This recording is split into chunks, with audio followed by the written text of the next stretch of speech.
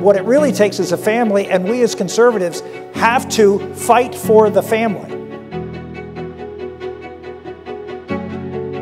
A party that desires to lead this country must have an agenda that the American people believe helps them.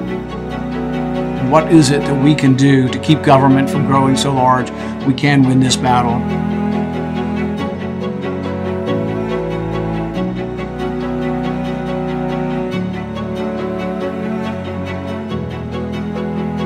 Join me in welcoming our next speaker for a keynote interview. Kevin Roberts is the president of the Heritage Foundation. He previously served as chief executive officer of the Texas Public Policy Foundation, an Austin based nonprofit and the largest state think tank in the nation. Under Roberts' leadership, TPPF more than doubled in size. He also expanded the Texas think tank's influence nationwide, opening a Washington, D.C. office. A lifelong educator, Kevin earned his PhD in American history from the University of Texas. After several years of teaching history at the collegiate level, he left in 2006 to found the John Paul the Great Academy, a Catholic liberal arts school in Lafayette, Louisiana. In 2013, he resigned from the academy to become president of Wyoming Catholic College. This independent stance uh, that he led at Wyoming Catholic led the New York Times to describe the school as being full of cowboy Catholics. In addition to his doctorate, Roberts holds a master's in history from Virginia Tech and a bachelor's from the University of Louisiana at Lafayette. Him and his wife has, have four children. Please join me in welcoming Kevin Roberts.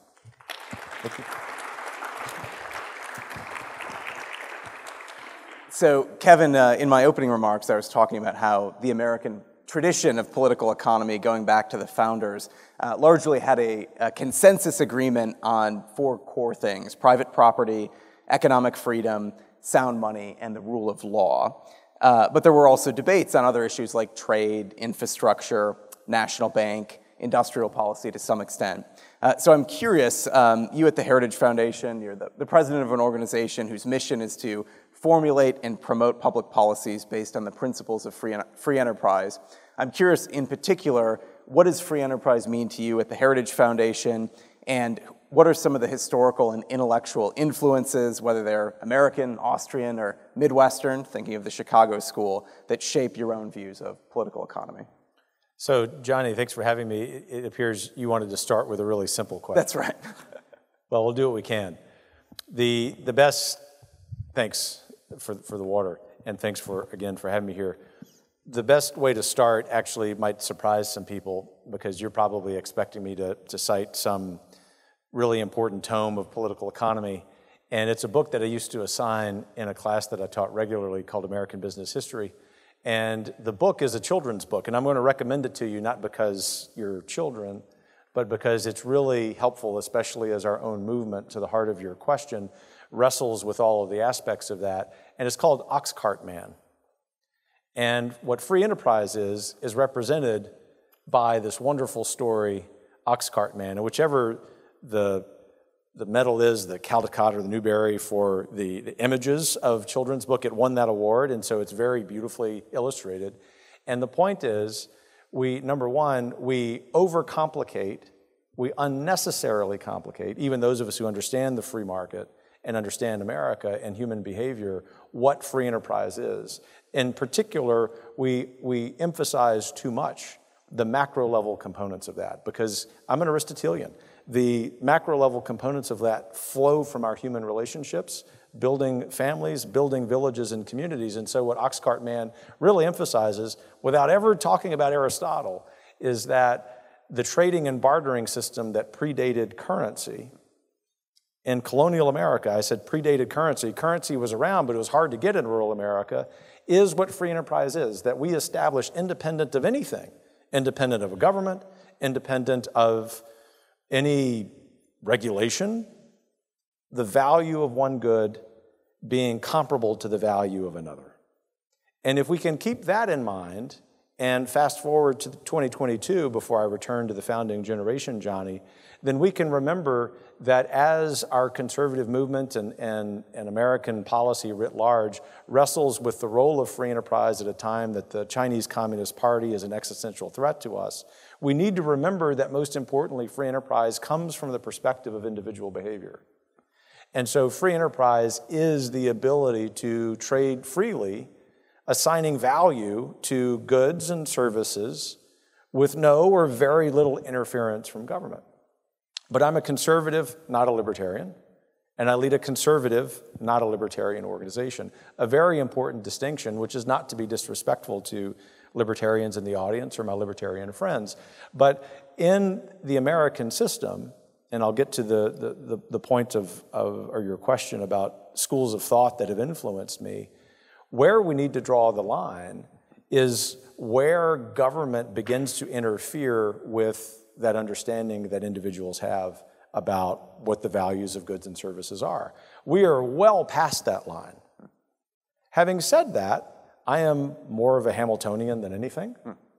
which is to say that I recognize very quickly a national security exception to the free market being an important characteristic of American conservatism.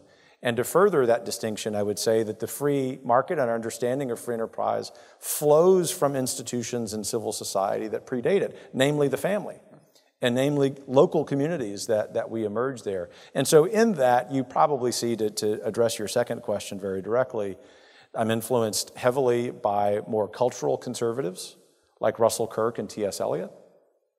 I am a Burkean, happily, hats off to Dan McCarthy and Sam Gregg for that wonderful conversation.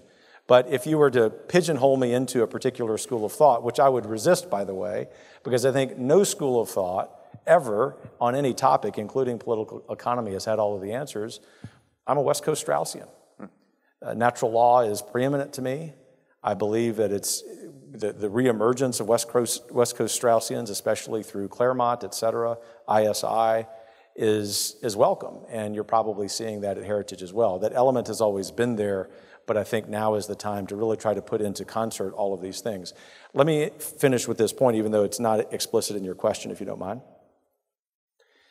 One of the things descending into tribes as conservatives does is allow us to make false choices, particularly between the Declaration of Independence and the Constitution.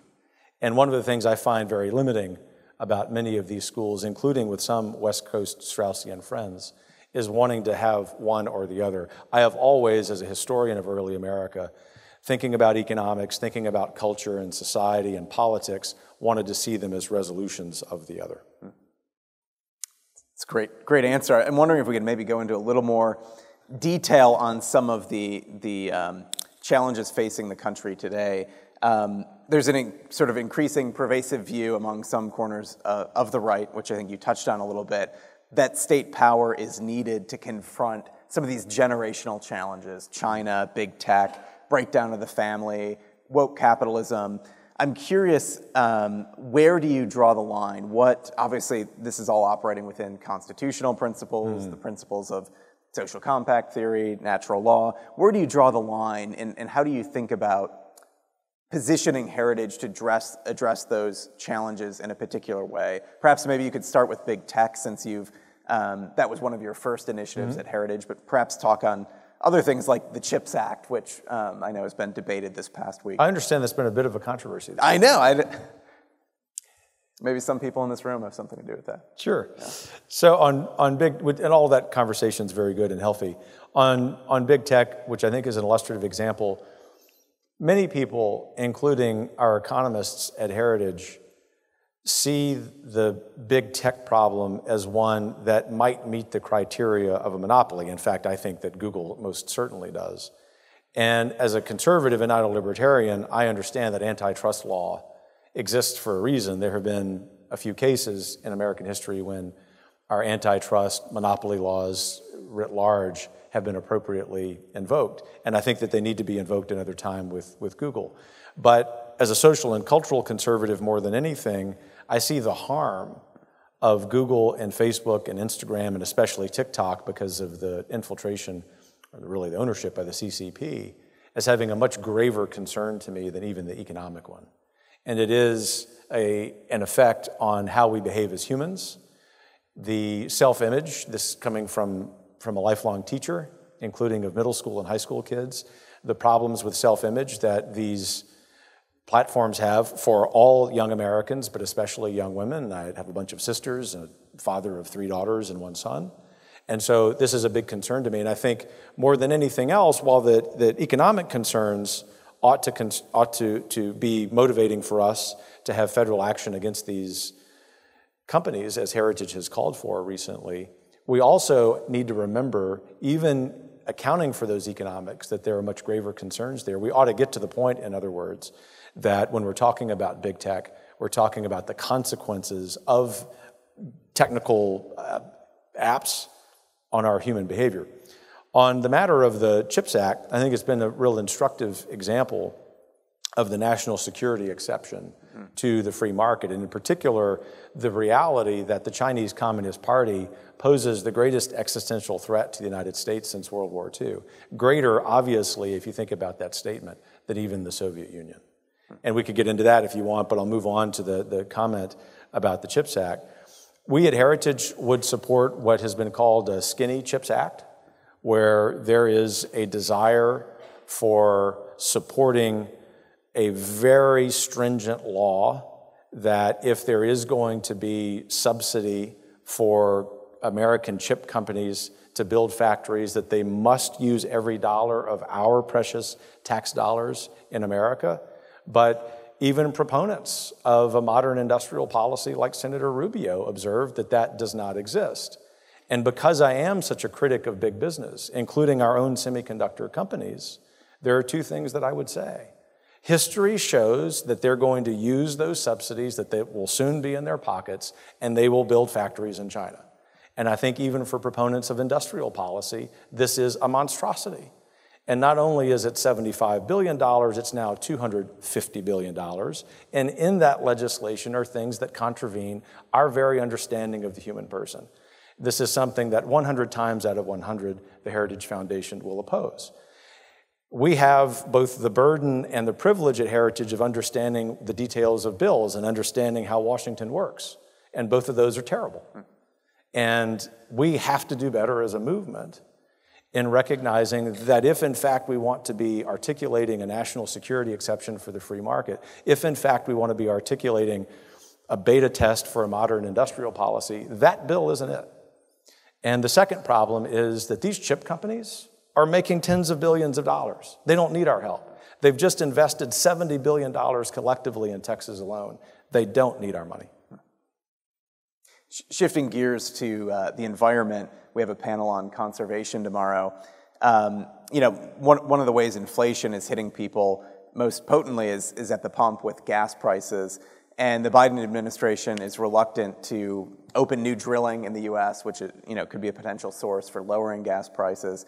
I'm curious um, what your recommendations for a conservative uh, policy when it comes to the environment and the economy and energy would look like, especially coming from Texas? I'm sure you have some ideas. Sure, I, that's a great question. In a lot of ways, for me as a conservative, take my heritage hat off, although it's what I'm about to say is consonant with my, my heritage role.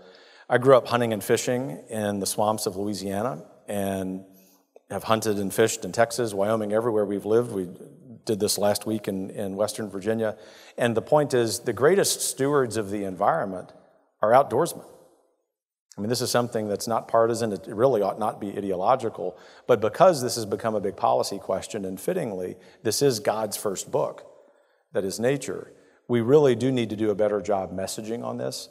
And I would commend to everyone, if you haven't yet read it, a book that's about 15 years old or so. It's called Crunchy Cons by my friend Rod Dreher. Rod and I can have a friendship and disagree with a lot of things and do so very civilly. But I think in a lot of ways, Rod, more than anything else, portrayed two things that are really helpful for us 15 years later. The first is that it's, it's natural in how a center right person wants to go about his or her life to treat anything that God gives us well, starting with nature.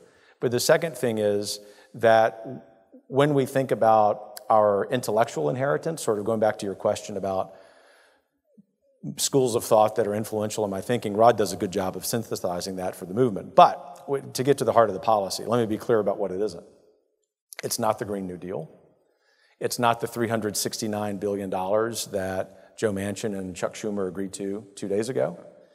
It is not reordering the economy according to supplemental sources of energy, wind and solar, which are fine by me, but they're not reliable, they're not consistent. And most of all, two things.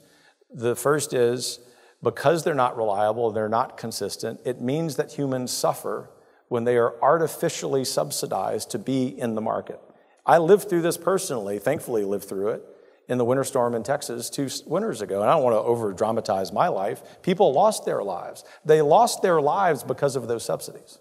Those subsidies put wind and solar energy in the Texas electrical grid, and when we needed 10% more energy production, we couldn't do it because the law did not allow investment there. This is why we have to be careful about subsidies. But the second is, and I'm a little passionate about this because I've spent a lot of time recently with European government officials who probably don't like American conservatism. And it's obvious to me that they endorse what we broadly define as the Green New Deal, not because they love the environment, but because they really do want to reorder power, they want to reorder capital. And on those grounds alone, we should oppose it. But it, most importantly, to sort of end this on a positive note, we need to, to really embrace our inheritance as conservatives, which is that we were the first stewards of our environment. Let's uh, talk about inflation a little bit more uh, specifically generally speaking, what, what do you see as the principal causes of inflation? And if we were uh, living under a Republican administration right now, to what extent would the in- inflation crisis be a factor or not? Well, I'll tell you a little story. So, our wonderful executive vice president at Heritage, Derrick Morgan, is a great fan of, of all of the organizations represented here, and I were leaving the Capitol two days ago. We're having lunch with a member of the Senate, actually, on all of these questions. And there was this camera crew out there, and you know, you never know who they represent. And I was running off to a meeting and already late, and so I was, I was more brusque than I should have been with the camera crew. But the question ended up being, what causes inflation? And so Derrick, because he's just always, unfa- he's unfailingly polite, paused and said, when the demand for goods outstrips supply. And then as I'm brusquely, you know, walking away, the videographer followed me and said, I still need an answer. And so as I'm walking away, I said, government. And he said, That's the answer we're looking for, meaning mine. I said, So then I stopped. I said, No, he gave you the right answer. So that's the technical answer, right? But to the heart of your question, I think what is the underlying assumption? Government. And I want to be really clear I'm a conservative well before I'm a Republican. And both Republican and Democrat administrations are to blame the last Republican administration and this current Democrat administration. I say that as a big proponent of President Trump's policies. But we have to get out of the habit of, of spending so much and expecting modern monetary theory and or inflation to pay down that debt relatively speaking this is the kind of thing that as heritage prepares for the next conservative administration which i do think will happen on january 20th 2025 we have to do a good job as a movement representing conservatives, libertarians, people who use different labels to say, at the very least, can we agree that we're not going to spend more money than we have? Because it really is something that has obviously created inflation, and it's something that affects, as I always like to see policy through the lens of the average American, human behavior. Americans are sp- able to spend less at the grocery store, at the, at the gas pump. They're expecting their wages to go up. And inflation, the overspending in the CHIPS Act, for example, really does undermine the very good intentions of our friends on our side who want to see the American worker improve. But government spending at that rate actually undermines that. Hmm. Are there any concrete policies in the short term that could be implemented to sort of reduce the financial pressure on families? dealing with inflation, or is sort of a Fed induced recession, uh, raising interest rates, the only medicine strong enough to get demand under control? Well, if you're going to give me the leeway to say that anything is possible politically, anything's possible. Oh, okay, yeah, so that's a much it. easier question to answer then. Um, the Gramm Rudman Act, uh, you know, which is what is that? Yeah, yeah, I know. For all of you who are much younger than me, 1986. Uh, I mean, I'm enamored with this because it's great law, but it's also the, authored by my political mentor, Phil Gramm, former senator of Texas. It, it was a, a budget constraint act, which said you don't spend more than you have, mm-hmm. which is what we have to do in our families, right? And occasionally there are exceptions to that, right? National security, economic downturns, but the point is you've got to get back to a balanced budget. And so if that were possible politically, that would be important, not just because of the mechanics of that, because government overspending is driving inflation, but also because, to go back to my very first comment about economics being best understood through human behavior, human nature, just passing that and President Biden hypothetically signing that sends a signal to Americans, and for that matter, the rest of the world, that the party's come to an end. Short of that, though, what's going to happen, and history, of course, is a great guide. I mean, this is going to happen to some extent or another, is that there's going to be a terrible combination of a recession and high inflation. Technically, we're 48 hours into that. We've probably been several months into that. I don't celebrate that, Johnny, even though it's, it's harmful for a presidential administration that I think has been harmful for the American way of life. I don't celebrate it because I grew up in a working class family that couldn't make it on the Gulf Coast of Louisiana in the 1980s, and so we had to move around the country, which is you know very destabilizing for our country. That's what our fellow Americans are feeling right now. This is not some academic game among conservatives in this room. It is not some political game of people in, in the Capitol. This is about American lives, and we're at our best as a movement when we're talking about it that way. Hmm.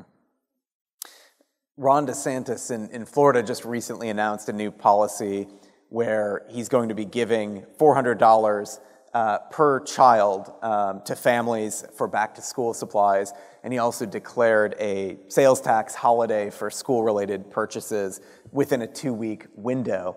Um, so I'm curious more broadly on family policy. What do you make of attempts on the right, whether it's by Governor DeSantis or perhaps Marco Rubio, Mike Lee, when it comes to uh, other family policies. What do you make of, of these types of pu- using public policy to shore up the institution of the family? And, and does Heritage have a, a family policy proposal or agenda mm. that you'll be rolling out? Yeah, great question. I've spent a lot of time on that in the 25 years I've been thinking seriously about policy, and, and I'll get to the point about what Heritage is doing. Number one, we welcome the conversation, but number two, we want to do more than just have the conversation. And so while we would do more than nitpick, we might be opposed to some provisions. What we're working on, especially with the leadership of our new Vice President of Domestic Policy, Roger Severino, is what family policy would look like. And, and I want to start with the ideal, because I think it's really important as you're thinking about policy prescriptions to keep two things in mind. The first is what I mentioned a few moments ago, which is keep the average American in mind. This isn't an academic exercise. It's not just a Washington game. It's, this will affect people's lives for better or for worse.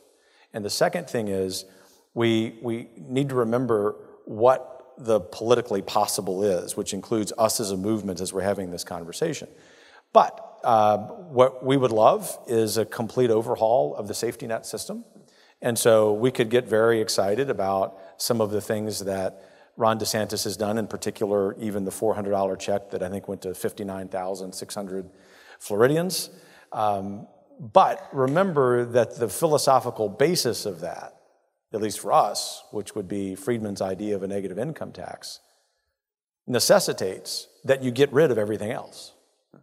And what we've done as, as a polis, and what we've done as a conservative movement is say we want to do those things and not touch the safety net systems that not only are inefficient and ineffective, but more importantly, have undermined human dignity for two generations. So we have to be better. We have to be more vigilant about saying, if in fact we want to be innovative, which Heritage is encouraging, that we better go at least nibble in reforming these safety net systems. And so that's going to be, frankly, the quid pro quo that we're asking our friends in the movement and people across the aisle to do that. If we can get that, get to that as a movement, then I think we ought to be very optimistic about that kind of agenda, which Senator Rubio and Governor DeSantis, among others, have been very thoughtful about. In terms of uh, big business, generally speaking, I think one of the one of the challenges is that a lot of elite economic interests sort of are running counter to, you know, national interests or sort of our, our American constitutional system or the common good. You've noticed generally. that. Right, we've noticed that. and so what I'm wondering is, one, sort of, how do you think about conservative relationship with big business, given that historically speaking, that, you know, they've been friends to some degree.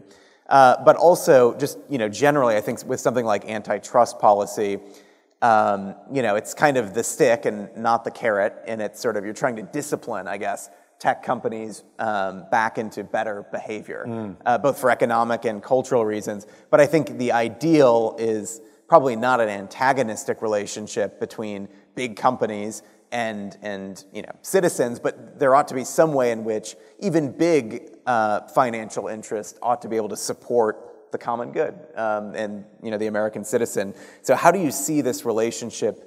Do, do, you know, do we need to be a little antagonistic in the short term, or is there a way that we can actually bring a harmony to these interests? Populism runs deep in the deep south where I'm from. And so I've always had a certain skepticism and occasionally hostility toward big business. And it's because the history of some big business, not all, has been that they take from the worker mm-hmm. and they rape the land and then they tell us that they're Republicans or conservatives when really all they are is focused on their profit motive. And those of us with a certain understanding of Christian teaching about the nature of business know that making a profit is but one of two parts, one of two obligations that a business had. The other is toward the common good.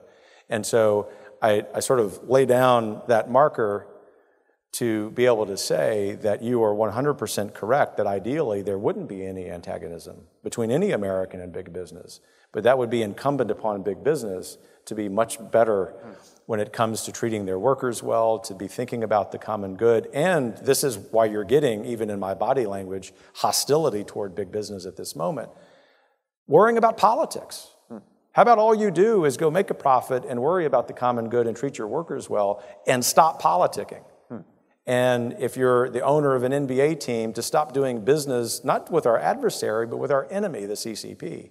I think we're going to get there. I think it's going to be, even though I believe that in most cases politics is downstream from culture, it is going to be an example of what is an exception sometimes, where there becomes the popular will, the political will to say, you may not do that, big business. You're seeing Governor DeSantis do that heroically in Florida.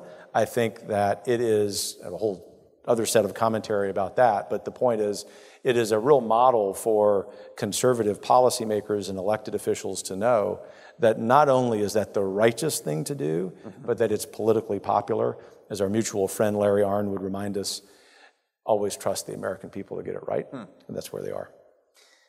I, I, like that answer. I, am curious. Is that the only one you like? I like them all. They're great. Just picking.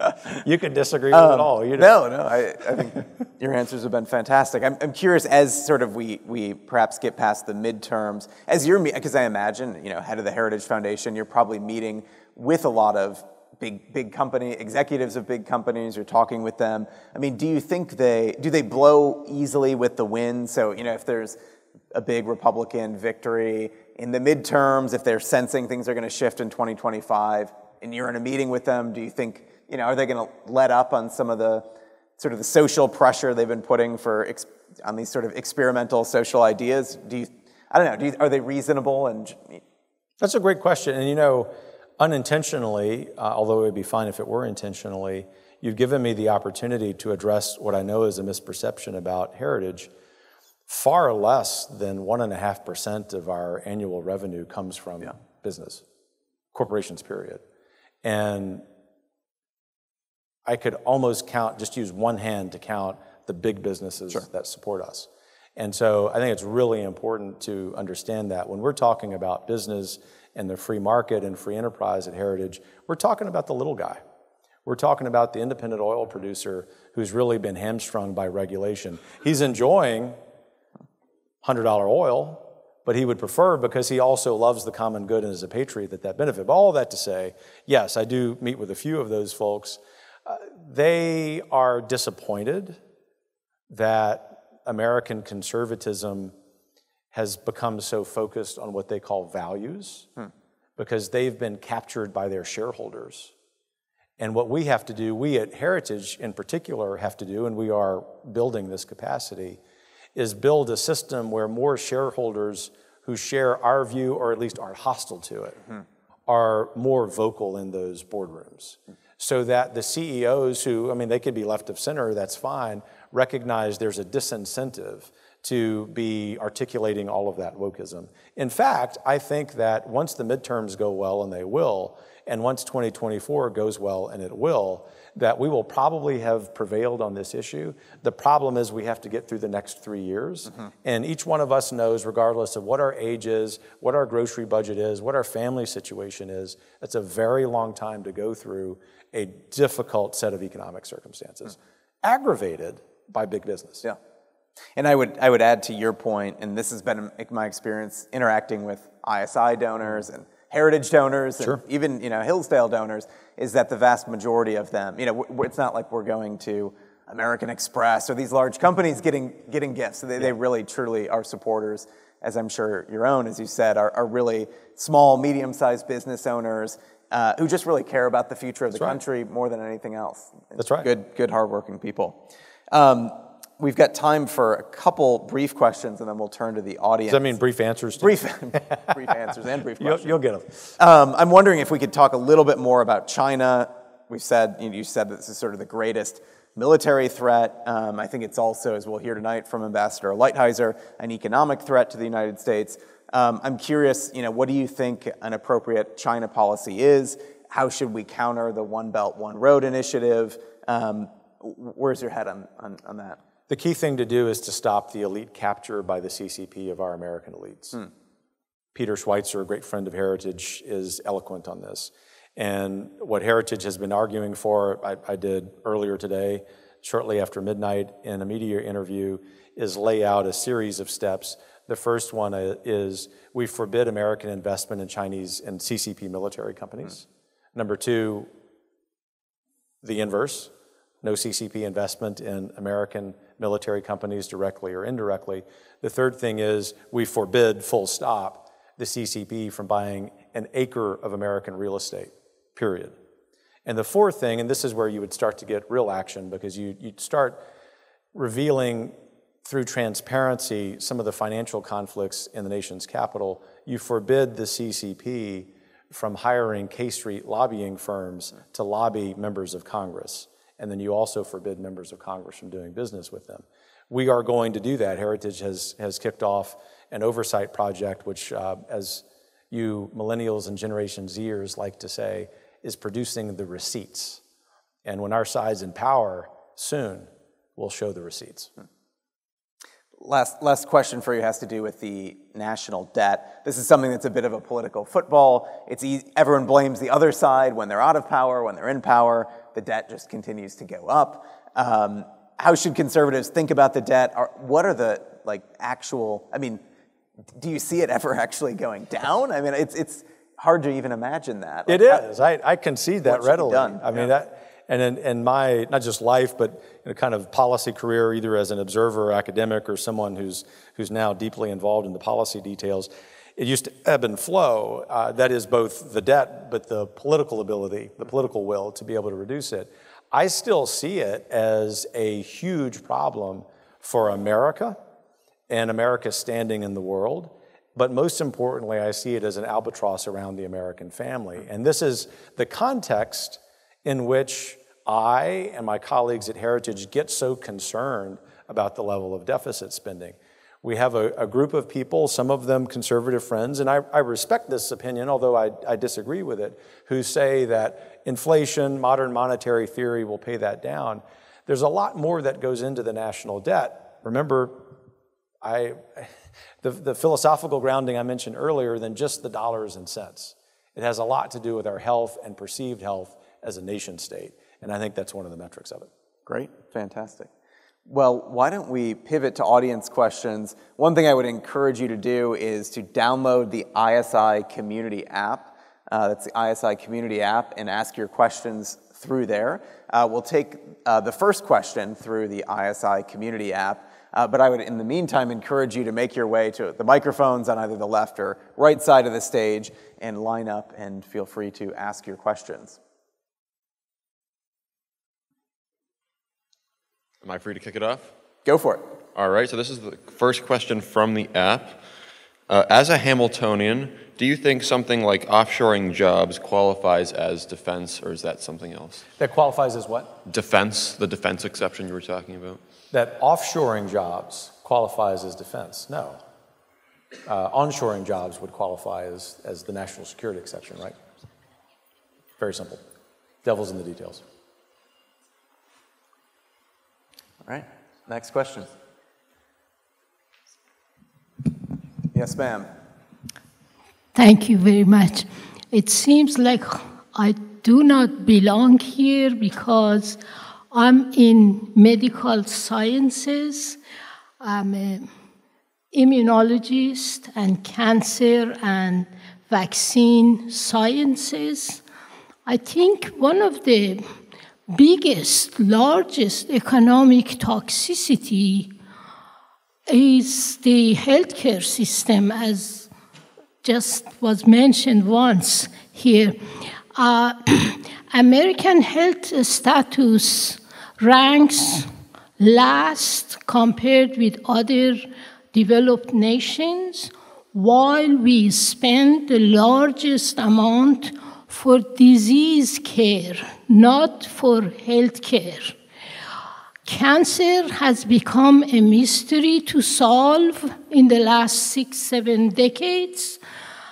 And uh, the reductionist approaches to uh, cancer problem, cancer biology, has been a major uh, factor in, uh, in, in healthcare problem.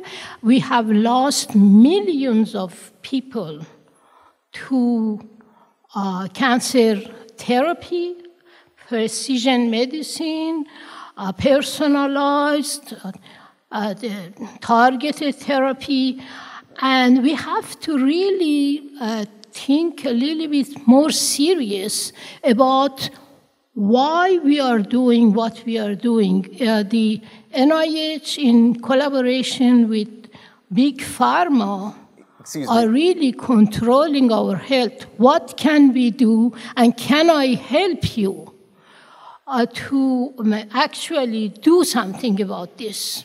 Well, I'm glad you're here. I'm sure Johnny's glad you're here, and I'm sure everyone in the room is glad you're here. So thanks for the question. The, I'll cut to the chase. The problem with American healthcare, in spite of the money we spend on it, is that too much of that money is spent on middlemen between doctor and patient. Yes. Every reform proposal, every single reform proposal at the state level and federal level needs to be vetted with the question does this get more middlemen out of the way? And you're going to see the expense go down and you're going to see access to real care go up. And if we had more time, I would give you details about how, at the state level in the last Texas legislative session, I was very involved in that. I don't deserve the credit for that. I'm not the policy mind, but it lets you know where the Heritage Foundation is when we're talking about this in the coming months. But I appreciate Thank your you. insight. Yes, ma'am.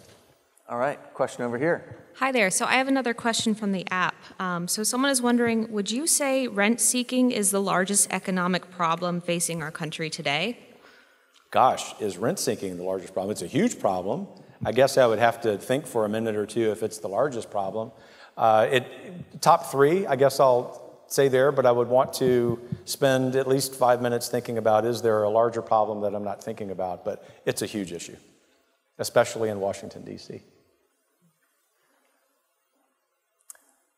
All right, another question from the app. How can the right counter the emerging ESG movement in the American economy? Great question, you know, from this, uh, this working class kid who grew up around the oil industry, and by that I mean the machine rooms of oil platforms, not the white collar side, although I'm grateful for the white collar side. ESG is also, it's, it's in essence an existential threat, not just the oil and gas industry, but more importantly to any American, including those who, for example, like wind and solar energy. And the reason is it takes away the fiduciary responsibility, the, the financial responsibility of decision makers of capital from doing what they need to be doing, which is maximizing their profit and also uh, um, addressing the common good. It undermines the common good for that reason. especially when you think about the particular social agendas that are behind ESG. But to conclude on a positive note, I can report for the first time since I became aware of what ESG even stood for a few years ago that we are, if we've not yet turned the corner on that as a movement, we're very close to doing it. A lot of people deserve credit for that. And what success will look like is not merely state treasurers saying, if you're requiring this garbage go away, we need more of them to do that, don't get me wrong. It doesn't just look like state legislatures and Congress taking action. What it looks like is that we as shareholders or our representatives as shareholders become more vocal in boardrooms because I can guarantee you, going back to a couple of our questions about Fortune 500 companies, the vast majority of Fortune 500 CEOs just want to run their business. They actually don't want to be engaged in politics. Hmm. Uh, thank you for um, the, the great uh, uh, speech that you gave there. And uh, I was wondering, so Tocqueville talks about the frontier, the frontier's impact on American society and enterprise. And Heritage has done some great work on um, Dean Cheng, especially on outer space as being kind of the frontier of uh, America's next frontier and America's final frontier. But I guess it's a little bit uh, removed from kind of domestic concerns about the family, and how do you match kind of the capture of the space industry by people who are interested in uh, putting jobs overseas and taking away from the American family, and kind of the need to be to, to go into space and to expand uh, our national interests in um, in the extraterrestrial commons. So, is your question about is there a parallel between space and space exploration today being the next frontier with the frontier thesis in the United States? Yes, and also, but how do you match that with like domestic concerns? There's a um, kind of a mismatch between our focus. A lot of focus is done on like taking care of like the American family and ah. economics, and trying to protect ourselves from the um, the global market. Okay. But we need the global market to go into yeah. outer okay, space. I get it. Now you're you're. I mean, I love the question. I just want to make sure that I, I at least answer the question you wanted me to. In 1893, when the historian Frederick Jackson Turner arrived in Chicago at the American Historical Association and gave what remains one of the most innovative and, and influential speeches there a meeting I used to attend regularly, although not in 1893, he, he, gave us the phrase frontier thesis. And I have thought a lot, in fact, I've mentioned it to students over the years, the timelessness of that for the United States. And so I've often been enamored with the idea, to go to the first point of your question, that space exploration is sort of that. In other words, space is sort of the frontier. And we've even used that language dating back to President Kennedy talking about the moonshot. And you probably know this, but Vice President Pence, of course, sees it the same way. He's the architect of the Space Force, which I didn't really appreciate until a few people, a couple of them associated with ISI, connected the dots for me. But I'm going to get to the heart of your question and say, well, I think, and pardon me if this isn't exactly where you wanted me to go, at the same time that we can be critics of the effects of globalization for reasons that affect the American worker and the American family, we really ought to, with responsible public spending, see space exploration as giving us at least the perspective in which our economic and human relationships exist. And so, I, as a conservative and not libertarian, one of the reasons that I make that distinction often is that there is a proper role for government. And one of them, of course, I think, is to make sure that for military purposes, other purposes involving space, especially considering how involved the Chinese are, that we be very focused on it. So thanks for the question. Thank you. You bet.